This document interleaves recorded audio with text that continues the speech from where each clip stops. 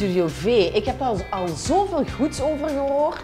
En ik heb zo'n druk leven qua eh, met vrienden, maar ook vooral met mijn werk. En ik heb zo gehoord dat je hier zo tot ontspanning komt en eigenlijk eens even alles kunt vergeten en loslaten. Studio V is gewoon geweldig. Ik doe het al heel vele jaren. En verslaving geworden, omdat eigenlijk komt je ook een beetje tot rust. Dus, uh... Julie, het is super hè, die begeleid je van A tot Z. Ze komt ook altijd heel kort bij je staan, daar, maar niet in de COVID, dat is waar. Super, die is, dat is een heel warme vrouw. Judy geeft daar haar eigen touch aan. Ik denk, dus, is ook niet, nooit ieder week hetzelfde.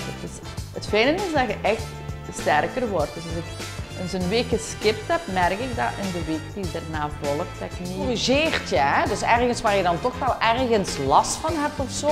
Dus je doet de oefeningen mee, maar als je dan op een gegeven moment ergens iets voelt, dan corrigeert je jou persoonlijk. Judy is een heel positief persoon en dat straalt zich ook af op de les. En op de les zelf is ze heel professioneel. Ze kijkt echt zo van hoe je oefeningen doet en ze corrigeert wat nodig is. Waarom? Omdat ja, inderdaad, er zijn ook groepslessen en daar zijn altijd veel mensen en dan op een gegeven moment hebben ze misschien niet zoveel aandacht voor je. Maar hier bij Studio V en coach Judy, ze kijkt naar u, ze weet op een gegeven moment wat je wel kunt en niet kunt.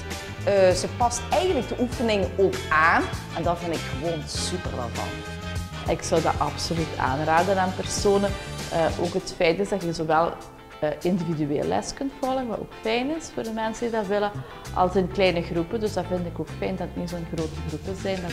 Natuurlijk, absoluut, absoluut. Je krijgt hier zo'n persoonlijke begeleiding dat je echt zegt van, nou, dat wil ik nog eens doen. Nee, dat is niet goed. 500!